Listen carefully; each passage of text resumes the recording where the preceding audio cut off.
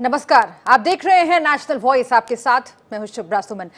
सात राज्य और इक्यावन सीटें। जी हाँ पाँचवें चरण का मतदान आज हो रहा है और इस वक्त की बड़ी खबर आपको हम बता रहे हैं अयोध्या से, जहाँ पर वोट डालने पहुँचे महंत हनुमान गढ़ी ने एक बड़ा बयान दिया है। रामलला का मंदिर यहाँ नहीं तो क्या मक्का में बनेगा? ये कहा है ज्ञानदास ने। हम चाहते हैं कि रामलला का मंदिर अयोध्या में बने। ये ज्ञानदास ने कहा है। पूरे हिंदुस्तान में एक ही मुद्दा है, रामलला का मंदिर। रामलला तंबू में विराज रहे हैं, ये नेताओं की देन है। हमको चाहिए कि राम मंदिर और कुछ नहीं चाहिए। राम मंदिर जब बनेगा तो पूरे देश में विकास होगा। राम मंदिर बनने से प्रकाश भी होगा।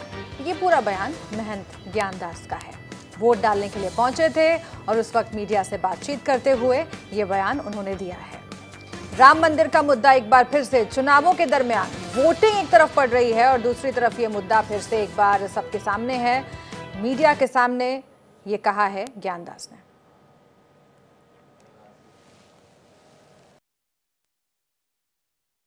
पूरे हिंदुस्तान में, पूरे विश्व में एक ही मुद्दा है, राम मंदिर। रामलला का मंदिर। रामलला तंबू में विराज रहे हैं। ये नेताओं का देन है। रामलला का मंदिर हम चाहते हैं। रामलला का मंदिर अगर अयोध्या में नहीं बनेगा तो मक्का मदीना थोड़ा बनेगा। और इसी खबर पर हमारे संवाददाता ऋषि गुप्ता हमारे साथ जुड़ गए हैं। ऋषि बीच चुनावों में ये बयान आया है महंत ज्ञानदास का। क्या मायने हैं इसके? जी, आपको बताना चाहेंगे, सुबह जी ये वोट डालने पहुँचे थे महंत ज्ञानदास जी ने। इन्होंने बयान दिया है कि क्या विश्व में एक ही मुद्दा है, राम जन्मभूमि का। और ये राम जन्मभूमि अयोध्या में नहीं तो क्या मक्का मदीना में बनेगा?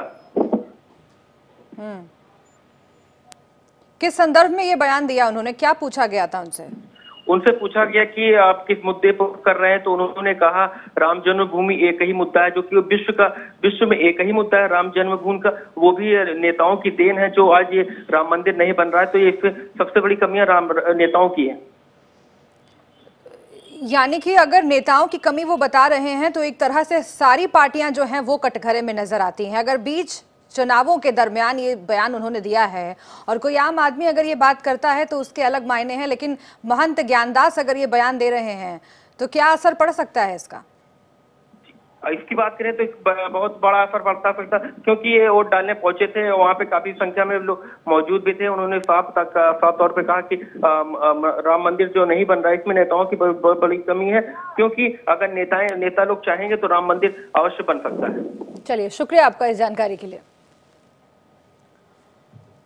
तो अयोध्या से ये खबर आपको हम बता रहे हैं। महंत ज्ञानदास वोट डालने के लिए आए थे और उसी दौरान उनसे पूछा गया कि कौन कौन से मसले हैं जो कि बहुत महत्वपूर्ण हैं।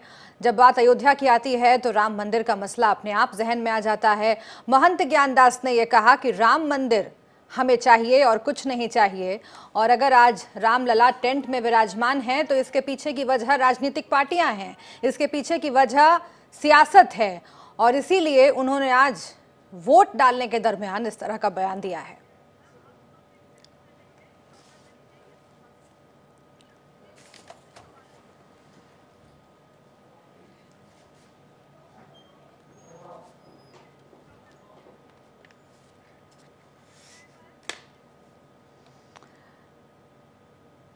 और इस पूरे बयान पर इसके साथ ही जो चुनाव आज हो रहा है, सात राज्यों में इक्यावन सीटें हैं जहाँ मतदान हो रहा है। इन तमाम मसलों पर हम बात करेंगे। इस वक्त हमारे साथ स्टूडियो में शौकत अली जुड़ गए हैं समाजवादी पार्टी की ओर से। शौकत अली साहब, जो भी हमने बड़ी खबर दिखाई है और ये बयान भी सुनवाया महंत ज्ञानदास का, वो वोट डालने के लिए पहुँचे थे। उन्होंने मीडिया से बात करते हुए जब उनसे पूछा गया कि मुद्दे कौन कौन से हैं उन्होंने ये कहा कि राम मंदिर बनने से विकास होगा राम मंदिर बनने से प्रकाश होगा। लेकिन इसके साथ ये भी कहा कि आज अगर राम लला टेंट में विराजमान है तो इसके पीछे राजनीतिक पार्टियाँ हैं सियासत है। और ये भी कहा कि राम मंदिर चाहिए इसके अलावा उन्हें कुछ नहीं चाहिए। इस वक्त इस बयान के क्या मायने हाँ, देखिए कहीं ना कहीं संत समाज नाराज़ भी है भारतीय जनता पार्टी से इसलिए इस तरह के बयान देना उनका लाजमी हो गया है। और रही बात राजनीतिक पार्टी तो देखिए किसी राजनीतिक पार्टी ने उसका विरोध नहीं किया बनाने के मामला कोर्ट में विचाराधीन है। और सबसे ज़्यादा बहुमत से जीत कर आई भारतीय जनता पार्टी जो बार बार ये बात दोहराती थी कि मैं मैं सत्ता में आऊँगी तो भारतीय जनता पार्टी ये दावा करती थी बार बार कि मैं राम मंदिर बनाकर आपको दूँगी। लेकिन आज क्या है कि राम मंदिर मुद्दा उनके मैनिफेस्टो में तो है लेकिन बनाने के नाम पर जब उनसे कोई बात करने को तैयार होता है कि भैया आपने क्या किया आज तक कौन सा अमेंडमेंट लाए या नहीं लाए अमेंडमेंट की बात की या नहीं की तो कहते हैं देखिए कोर्ट में मामला विचाराधीन है और जब कोर्ट फैसला लेगा तो राम मंदिर हम बना देंगे। अरे जब कोर्ट फैसला ले लेगा तो हमें लगता है कि आपकी ज़रूरत नहीं पड़ेगी। जिनका मंदिर वो खुद बना लेंगे आचार्य जी खुद बना लेंगे महंत जी खुद बना लेंगे आपकी आवश्यकता नहीं पड़ेगी। तो वो कहीं ना कहीं ये इस वक्त जो बयान है उनका वो जो दर्द था आज झलक रहा है। यानी कि आप ये कह रहे हैं कि अगर महंत ज्ञानदास ने यह कहा है कि राम मंदिर नहीं बना है, इसके पीछे की वजह सियासत है, इसके पीछे की वजह वो पार्टियाँ हैं जो इस पर राजनीति कर रही हैं तो इसका सीधा नुकसान बीजेपी को होगा। जी शुभ्रा जी इस चीज़ को मैं मानता हूँ और कहीं ना कहीं वो संत समाज को भी छलने का काम कर रहे थे उनको भ्रमित करने का काम कर रहे थे उनको आ, सच्चाई से अवगत कराने का काम नहीं कर रहे थे। अभी तक मैनिफेस्टो में रहता था और बड़े दावे से भारतीय जनता पार्टी ये दावा करती आई कि हम जैसे ही सत्ता में आएँगे राम मंदिर बना देंगे। चाहे और कई बार ये भाषणों में उन्होंने कहा कि हम सत्ता में चुनाव होते होते बना देंगे चुनाव नहीं हो पाएगा उससे पहले राम मंदिर। लेकिन एन मौके पर जब लास्ट मूवमेंट आया तो उनका एक जवाब आता है कि देखिए साहब ऐसा है मामला कोर्ट में विचाराधीन है और जब कोर्ट का फैसला हो जाएगा तो हम राम मंदिर बना देंगे। मैं फिर उसी बात पे आ जाता हूँ कि जब कोर्ट का फैसला हो जाएगा तो मुझे लगता है ये संत समाज आपका इंतज़ार नहीं करेगा। नहीं, या मुस्लिम समाज आपका जो आरोप है शौकत अली साहब इस पूरे मसले पर वो तो कांग्रेस पर भी लग रहा है। अभी कपिल सिब्बल के बारे में कहा गया कि उन्होंने कोर्ट में जाकर ये कहा कि इस मसले को अभी रहने दीजिए क्योंकि इससे किसी खास पार्टी को फ़ायदा हो जाएगा। तो सियासत करने का आरोप आप ये कैसे समझ रहे हैं कि इनके बयान से सिर्फ़ बीजेपी को नुकसान हो सकता है?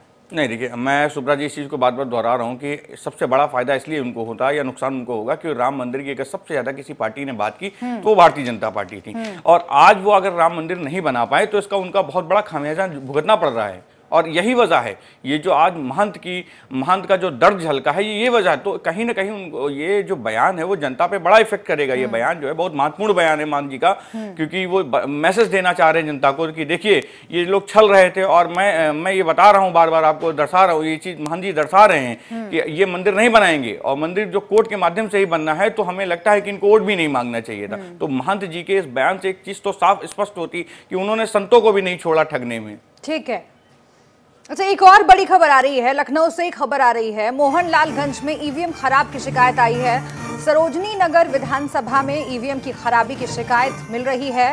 पोलिंग बूथ कौन कौन से हैं ये भी हम आपको बता देते हैं। 240 241 में आ, सुरक्षा की चूक हो सकती है ये बड़ी चूक मानी जा रही है। इस वक्त की बड़ी खबर आपको हम लखनऊ से बता रहे हैं।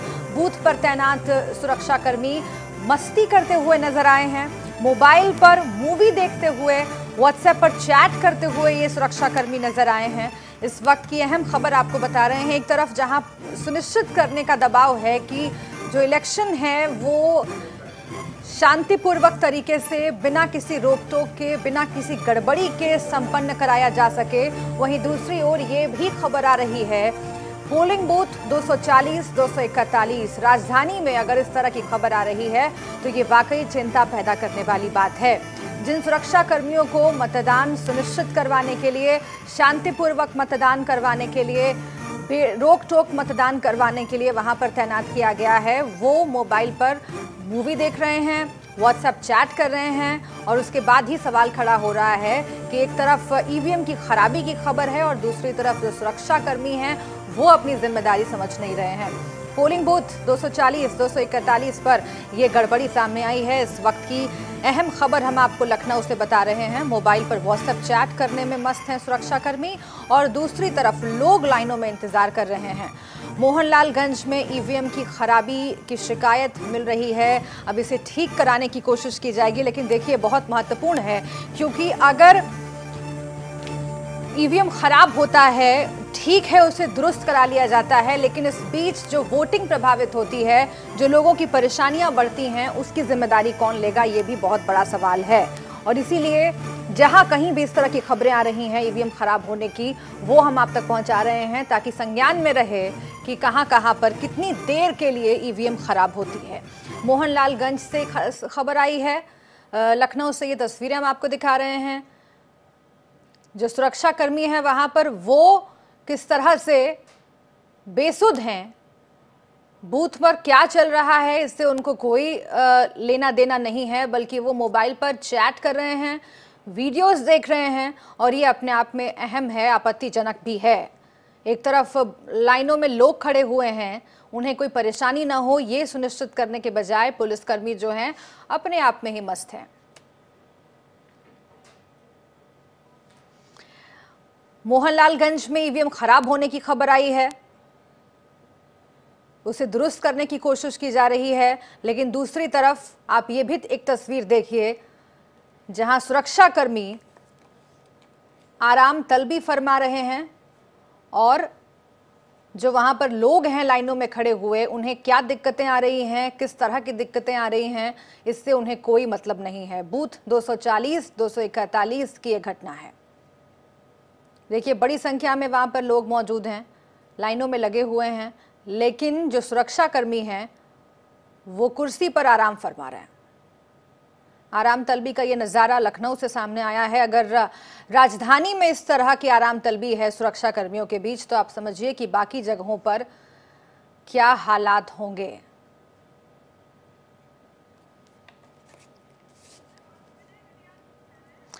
और इस वक्त विनय कटियार अपनी बात रख रहे हैं मीडिया के सामने। हम उन्हें सुन लें जरा। ईवीएम का और उससे कोई मतलब नहीं है। और ये ईवीएम के हर बार जब हारने लगते हैं तो ईवीएम पर ही आरोप लगाते हैं और कुछ नहीं करते हैं। राम मंदिर मुद्दा आपके इस एजेंडे में है। कितना लगता है कि आपकी सरकार आएगी और राम मंदिर पर इस पर कड़े कदम उठा करके कोर्ट के अंदर मामला है। जी। कि न उम्मीद है राम मंदिर भी बनेगा। बनेगा। अयोध्या का मामला है राम मंदिर भी बनेगा।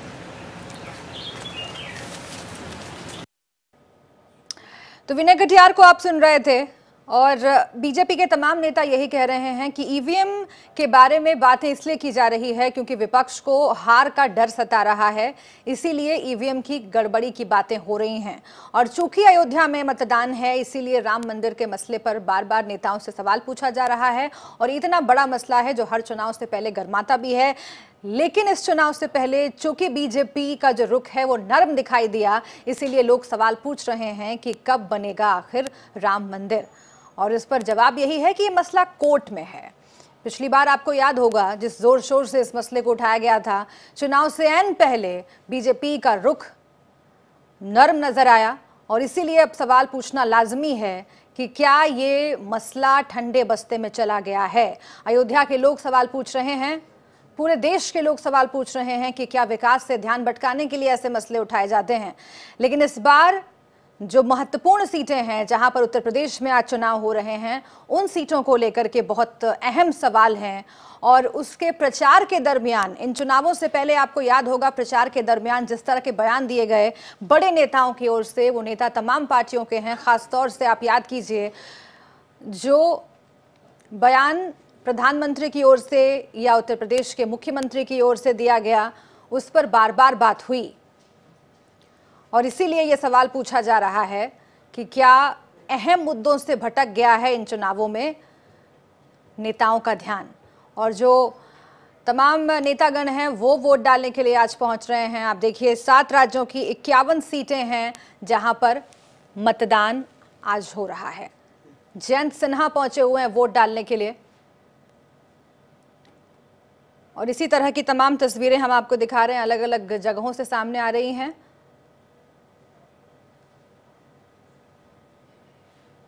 पाँचवें चरण का मतदान ये जारी है। इक्यावन सीटें हैं और इस बीच उत्कर्ष सिन्हा भी हमारे साथ जुड़ गए हैं। वरिष्ठ पत्रकार, हम उनसे भी बात करेंगे और एक रिएक्शन में उत्कर्ष जी आपसे उस पर लेना चाहती हूँ। जिस पर हम लगातार बात कर रहे हैं। तमाम नेता पहुँचे हुए हैं, तस्वीरें हम बीच बीच में दिखा रहे हैं। सुधींद्र भदौरिया पहुँचे हुए हैं वोट डालने के लिए। उत्कर्ष जी, अभी हमने एक बयान दिखाया था महंत ज्ञानदास का। वो वोट डालने के लिए पहुँचे थे अयोध्या और उनसे जब पूछा गया कि कौन कौन से मसले हैं, उन्होंने ये कहा कि राम मंदिर का मसला सबसे महत्वपूर्ण है।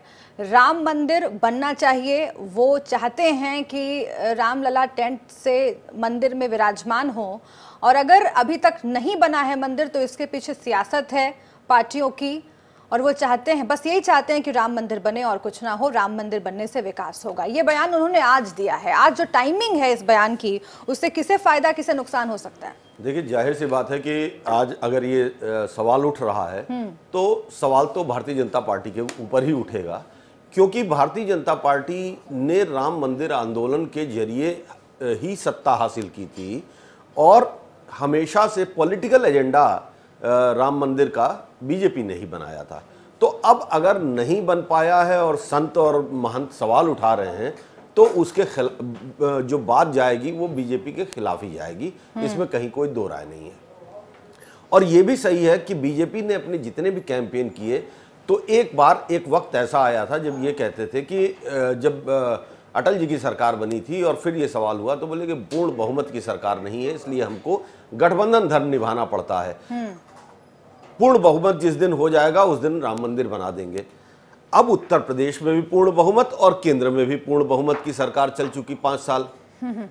ऐसे में आपने देखा होगा कि पाँच साल तक भारतीय जनता पार्टी के नेताओं ने राम मंदिर को लेके कितने गोलमोल बयान दिए हैं। कई बार कोशिश की गई। इवन जब चुनाव आज हो रहा है तकरीबन सात आठ महीने पहले एक बार कोशिश भी हुई राम मंदिर के मसले को गर्म करने की और अयोध्या में बहुत बड़ा जुटान भी हुआ लेकिन वो उस तरह से बन नहीं पाया। तो जो मोमेंटम नहीं बन पाया तो उसके बाद फिर बीजेपी किनारे होती गई अपने आप को किनारे करती गई और आज नतीजा है कि महंत ज्ञानदास का जो बयान है क्योंकि सीधी बात है कि अगर कोर्ट सारे लोग हमेशा से ये कहते थे कि कोर्ट में मामला प्रिजुडिस है सबजुडिस है तो वो अ, फैसला भी कोर्ट से ही आएगा। लेकिन पार्टी के नेता हमेशा कहते रहे कि जब हमें बहुमत मिल जाएगा तो हम ऑर्डिनेंस ला देंगे ये कर देंगे वो कर देंगे। बहुत सारी भ्रम वाली चीज़ें।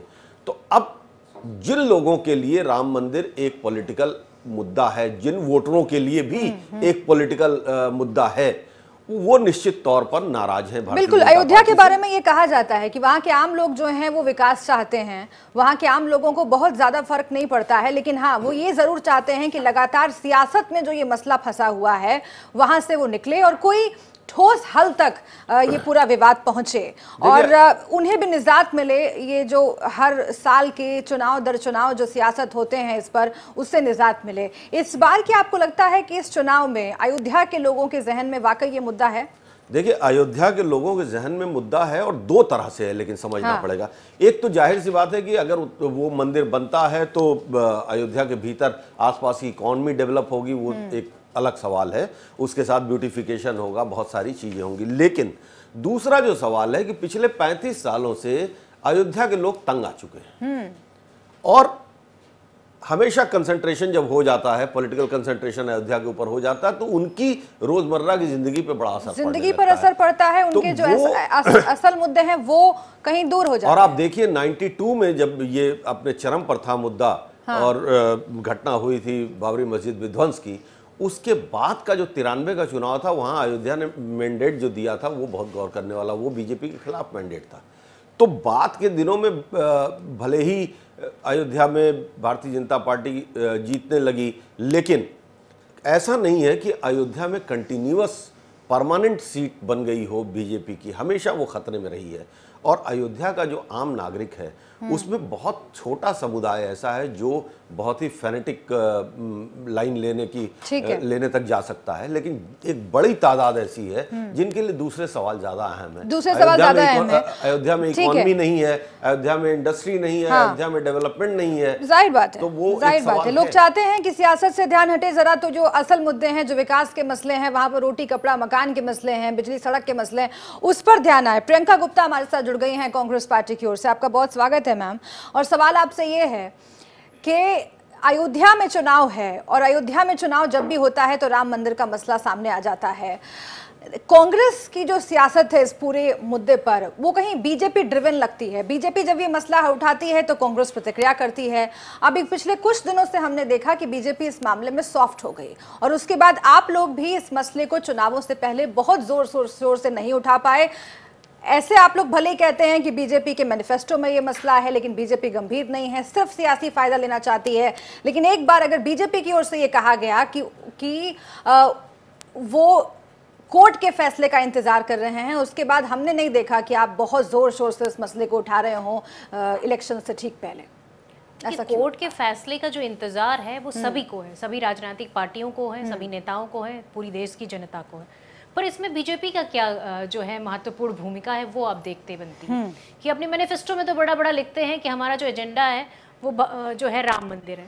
पर जो अच्छा पाँच साल का ओपी सिंह साहब है सुन लेते हैं हम पहले उसके बाद मैं आपके पास आती हूँ। अपने को सहायता दे सकेंगे। धन्यवाद। हम आपको सुनवाएँगे पूरा बयान ओपी सिंह साहब का बहुत महत्वपूर्ण है लेकिन प्रियंका जी आप बात पूरी कीजिए। जी। जब ये मुद्दा आता है तो इनके मैनिफेस्टो में ये बड़ा बड़ा लिखा जाता है कि हम राम मंदिर बनाएँगे मंदिर वहीं बनाएँगे। इन तरह के कई जुमले जो हैं ये अपने मैनिफेस्टो में भी लिखते हैं जनता को भी बरगलाते हैं। पर जब समय आता है जब समय आता है कि केंद्र की सरकार और राज्य की सरकार दोनों में इन्हीं का राज्य होता है फिर भी ये असमर्थ होते हैं मंदिर के मुद्दे पर बात करने में भी। आज प्रधानमंत्री जी अयोध्या जाकर भी मंदिर में रामलला के दर्शन नहीं कर पाते। पर क्या वो जो है देश विदेश की सभी मस्जिदों के दर्शन ज़रूर करते हैं? तो इससे आपके दो चेहरे साफ़ उजागर होते हैं कि देश की जनता को बरगलाने और मुद्दों से भटकाने की राजनीति अगर किसी पार्टी ने की है तो वो बीजेपी पार्टी है। आज देखिए जिस तरह से मंचों पर खड़े होते हैं पर वो बेरोजगारी की बात नहीं करते वो किसानों की बात नहीं करते।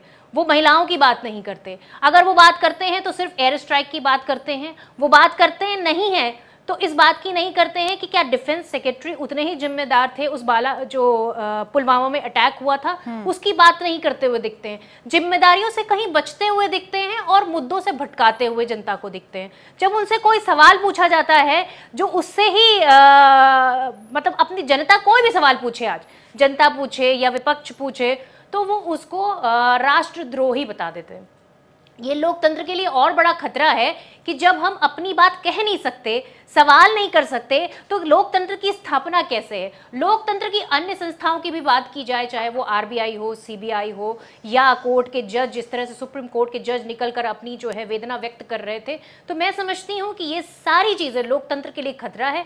आज जनता समझ चुकी है कि ये जुमलों की राजनीति करते हैं। मंच पर खड़े होकर इनके पास विकास गिनाने के लिए नहीं होता है। पर ये ये ज़रूर गिनाते हैं कि जो स्वर्गीय राजीव गांधी हैं उनके बारे में टिप्पणी करने से ये चूकते नहीं है। क्या ये एक बार ये नहीं कह सकते कि उनकी जो भूमिका थी वो दूर संचार और प्रौद्योगिकी के क्षेत्र में अभूतपूर्व थी क्रांतिकारी थी। उन्होंने पंचायती राज की भी स्थापना करी। और सिर्फ़ उनकी पार्टी के ही जो इतिहास में जा रहे हैं तमाम लोग। इतिहास में तमाम नेता जा रहे हैं। लेकिन वर्तमान में क्या समस्याएँ हैं जनता की आज के क्या मुद्दे हैं उन पर ध्यान बहुत ही कम लोगों का है।